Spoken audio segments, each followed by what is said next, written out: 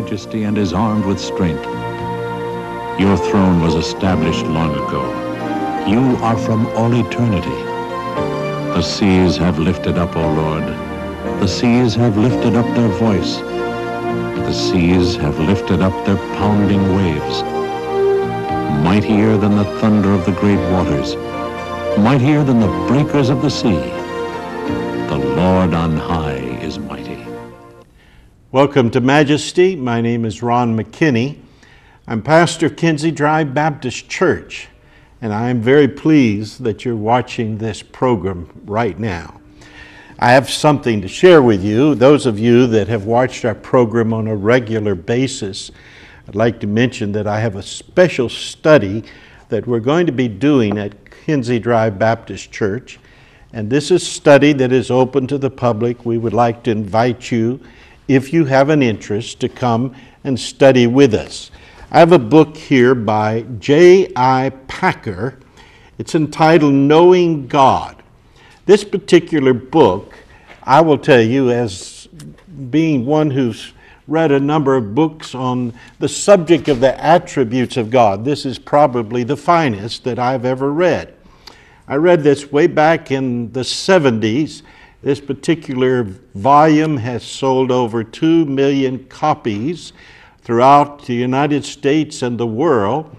J.I. Packer, who has been established as one of the great theologians of our time, he's now well up into, I think, his almost his 90s, and uh, he's still with us, but I want you to come and study with us on this subject. The reason I find this so helpful is I found that most people are really ignorant about the character of God.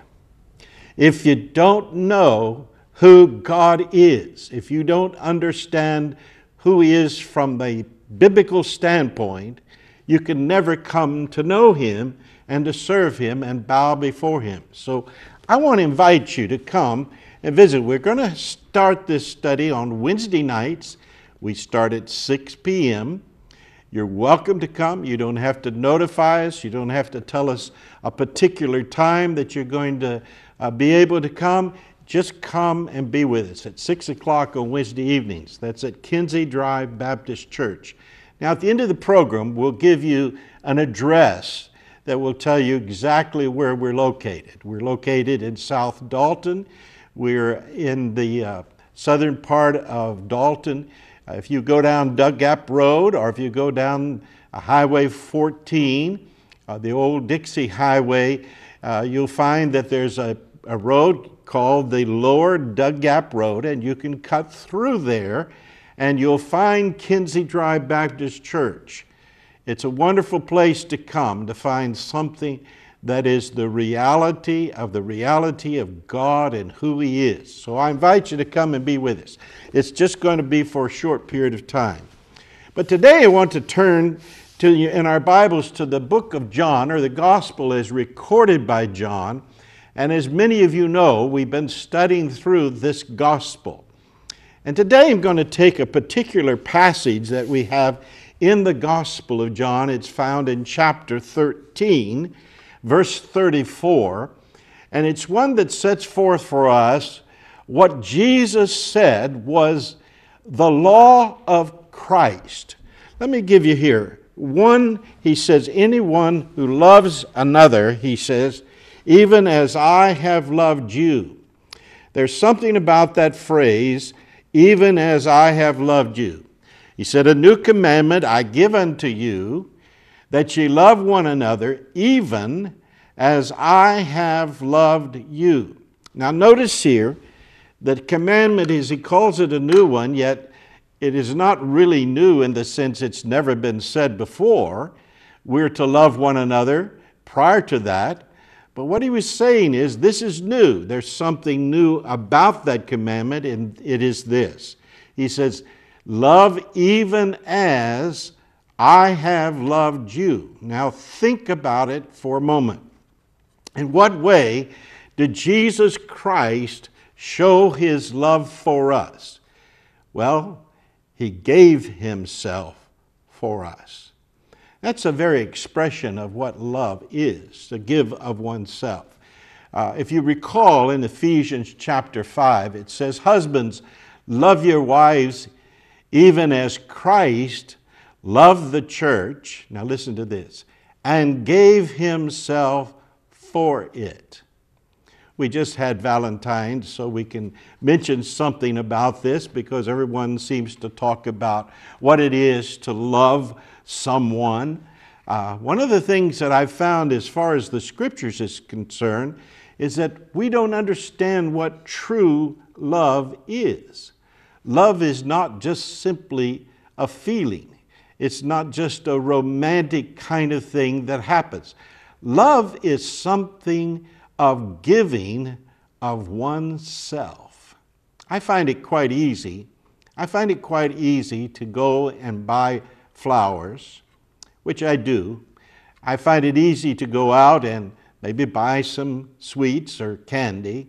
I find it easy sometimes to get a card, maybe to say something that I personally am not able to say. I can't, I'm not that creative. But when it comes to true love, and I'm talking about love for your spouse or love for your family or whomever it might be, the expression of love is shown in the giving of oneself. And I give you an example. I see sometimes, you know, men can be very um, uh, self centered, and they're just sitting there in the, the living room or the den or wherever it might be, and they're watching a ball game, and, and their wives are busy, busily working around the house, and they don't seem to have any interest in helping them at all.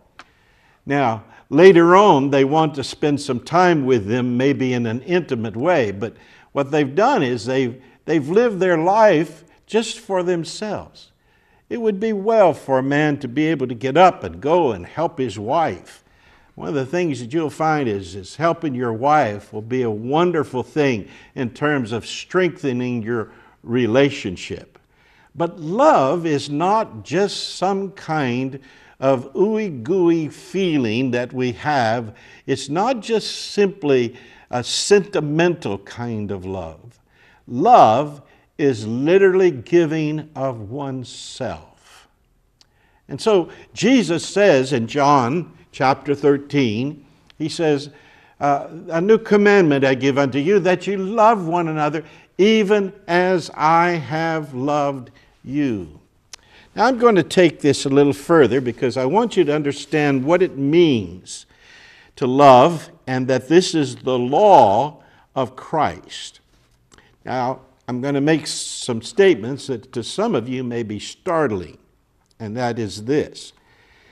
When we come to know Christ, we begin a Christian pilgrimage. We begin a new life in Christ Jesus. That life is made new because of the working of the Holy Spirit. The Holy Spirit quickens us, the Holy Spirit gives us, uh, prods us to press on, to continue on in the faith. It inspires us to read the scriptures, to know more about God and to know more about Jesus. Uh, the Holy Spirit is the one that directs us and works in us. He's working in us.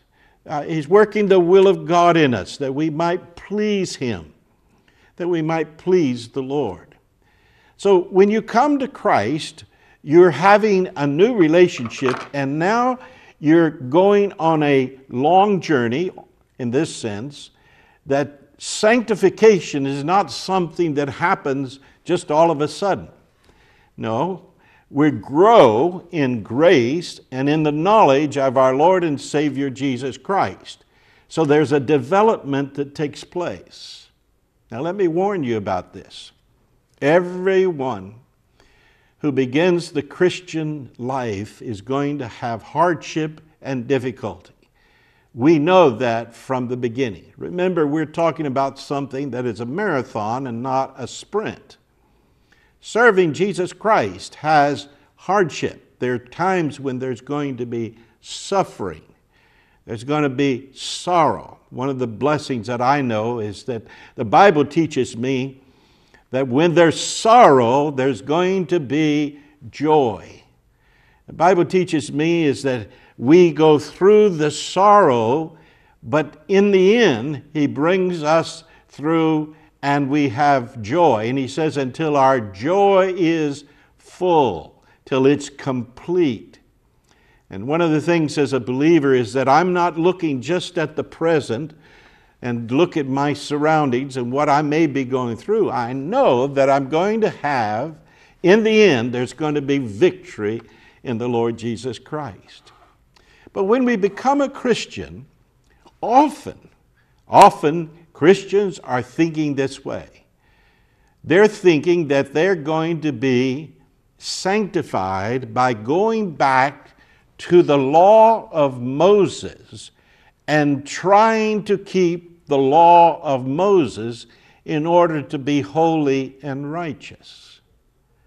The problem with that is that's not what the teaching of the New Testament gives us. The New Testament teaches us that we are in-lawed to Christ. Christ is the one to whom we go and we behold him in all of his glory and his splendor, and we desire to be like our Lord Jesus Christ. If you remember, uh, Paul writes this in Romans chapter 8. It says, uh, He's predestinated us to be conformed into the image of His Son. Now, what does that mean? To be conformed. In other words, He is molding us, He is working in us in such a way that we're going to be more like His Son, the Lord Jesus Christ. Christ's likeness is the goal for us. I want to be like my Lord Jesus Christ. Now, how do I obtain that? Do I obtain that by going back to the law of Moses? I find that the law of Moses doesn't do anything other than it can kill because that's taught by Paul in 2 Corinthians chapter 3. He talks about the letter of the law. What does it do? It kills. Oh, but he talks about the Spirit and the working of the Spirit within us. And what does it do? It shows us the beauty of Christ, and therefore we desire to be like our Lord Jesus Christ. Let me read some scripture for you here that will kind of give you an understanding of that. One of the things is that we must understand that Christ is our standard and that it's not just any kind of love, but it is Christ like love that we're to show. Love of the same quality and magnitude as Christ Himself demonstrated when he gave himself in the incarnation, and then he goes and he humbly dies upon the cross in shame and ignominy in order that he might be able to pay the penalty for us. This is the work that he did. Listen to these words Matthew 16 24. Then Jesus said to his disciples, If anyone wishes to come after me, let him deny himself and take up his cross and, notice this, follow me. Now, he didn't say here we're to follow the law of Moses or we're to go back to the old covenant. No, Jesus says, follow me. One of the most comprehensive calls to Christ likeness that could ever be made is found in our Lord's appeal to his disciples when he called them to follow him. He appeals in the gospel records from the beginning of the Christian life to the end to follow after him. It is a call that takes on even or ever deeper meaning as we progress in the walk of faith. Now, listen to these words. This is John 13, 12 through 15. And so, when he had washed their feet and taken his garments and reclined at the table again, he said to them, Do you know that I have done what I have done to you? You call me teacher and Lord, and you are right, for so I am. Now listen to this. If I then, the Lord and the teacher, washed your feet, you also ought to wash one another's feet. For I give you an example that you also should do as I did to you.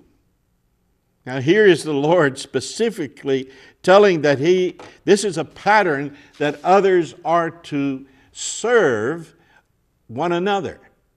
He says this. You remember how Jesus humbly comes and He wraps the towel around Him and He goes and He he, he bends over and he washes the feet of the disciples. And even Peter, of course, he said, You know, Lord, I don't want you to do that. I can't. I, no. And Jesus says, If you don't allow me to do this, you can't have anything of me. And he said, Therefore, from the top of my head to the bottom of five feet. And what he was teaching Peter is that sense of humility and caring for one another. You know, the two laws that are given in the scripture that Jesus said that everything hangs upon, everything hangs upon, is love the Lord thy God with all your heart, mind, soul, and strength.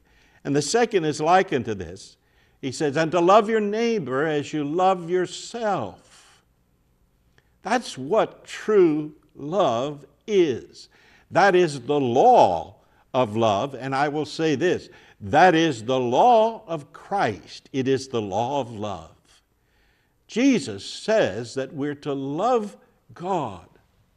Notice it's, it's a command here love Him with all of our heart, mind, soul, and strength.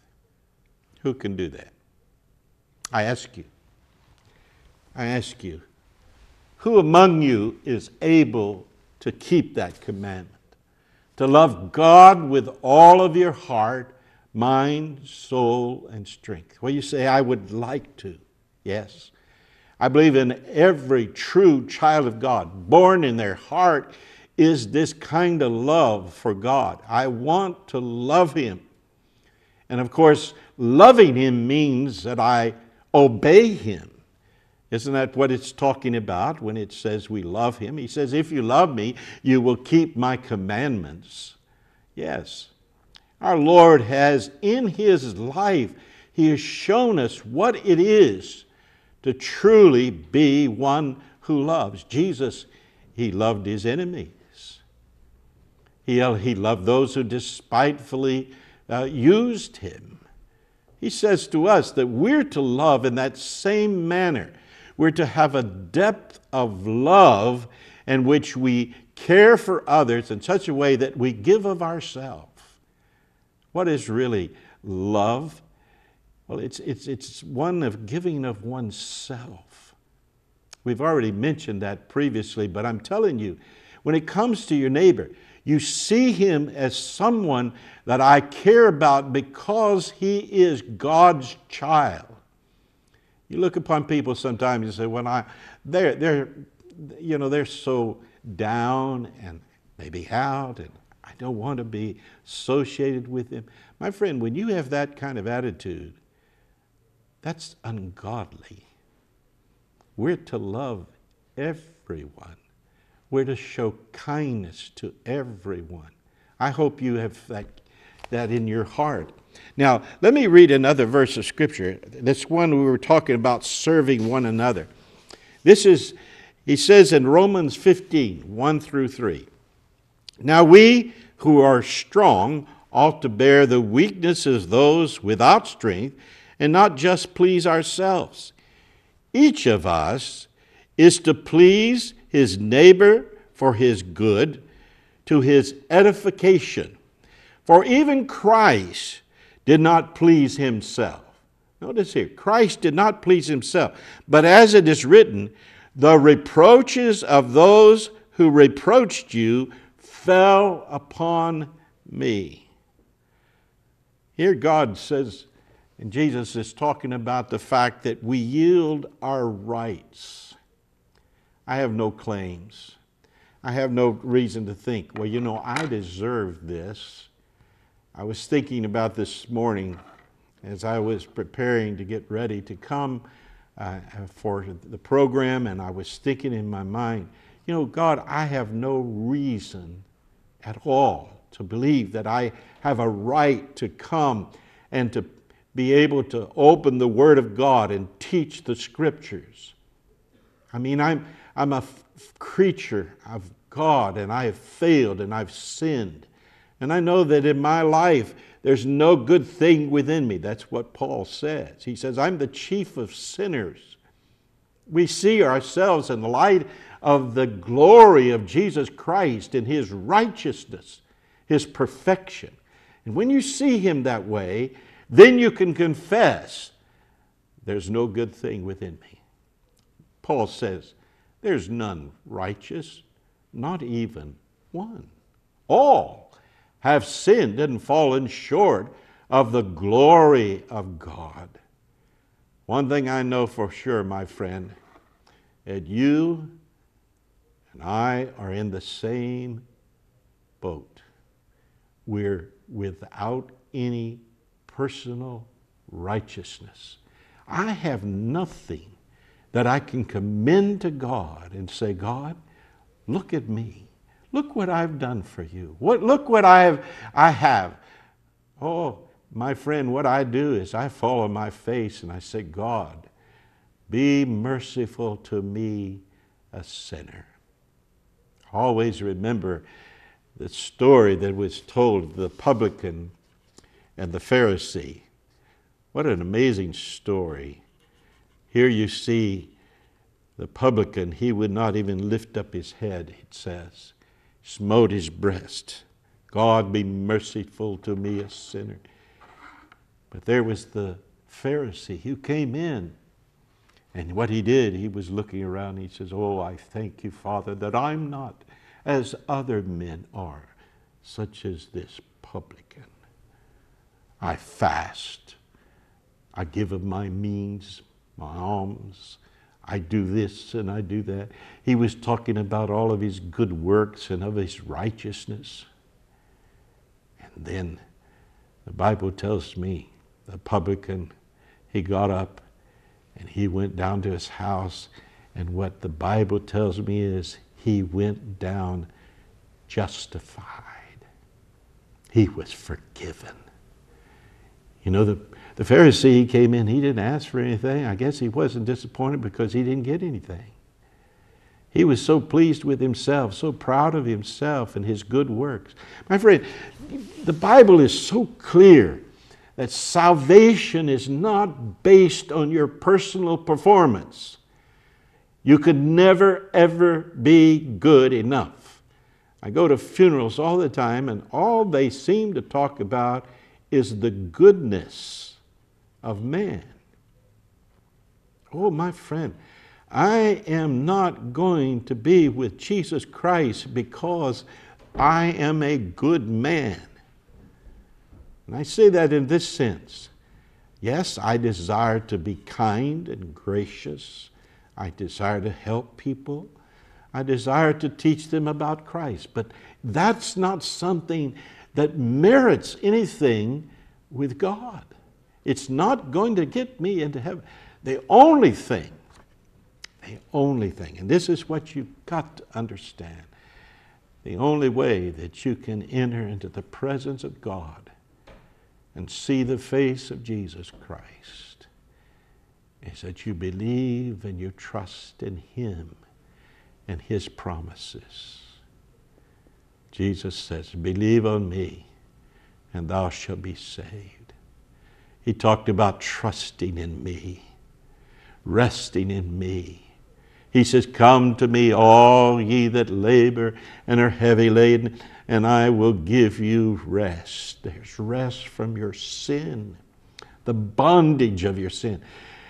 Oh, that grip that may have you at this very moment, that you feel the pangs of your own sin. You know that you have sinned against God. But there is salvation. And salvation is of the Lord.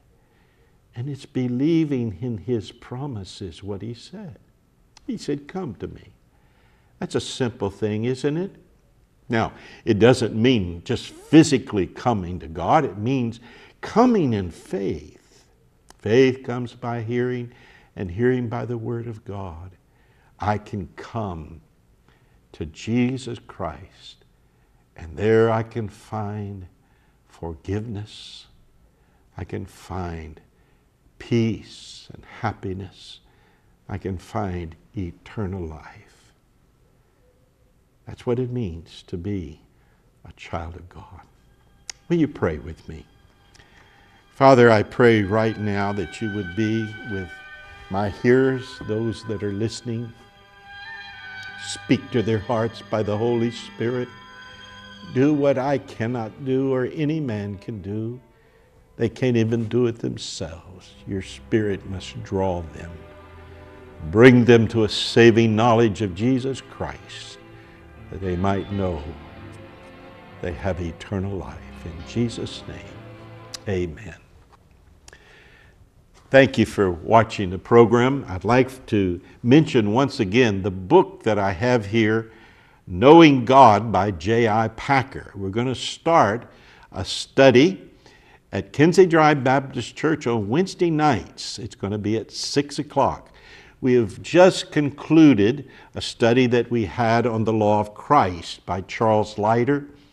It was an excellent study, and many of our, our folks in the church enjoyed that study. and We decided that we were going to take this particular book. It's one of, it's one of my favorite books.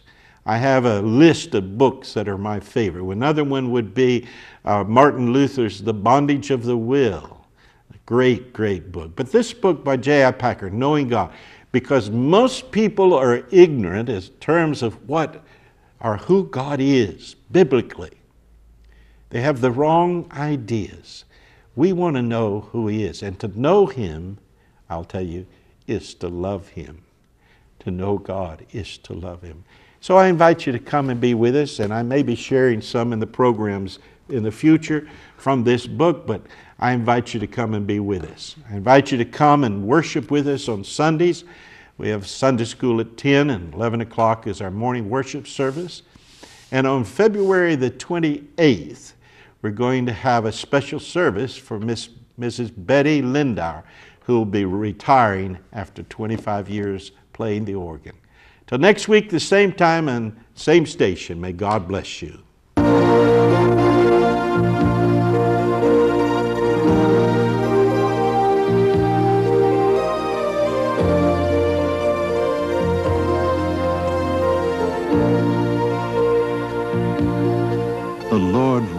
He is robed in majesty. The Lord is robed in majesty and is armed with strength. Your throne was established long ago. You are from all eternity. The seas have lifted up, O Lord. The seas have lifted up their voice. The seas have lifted up their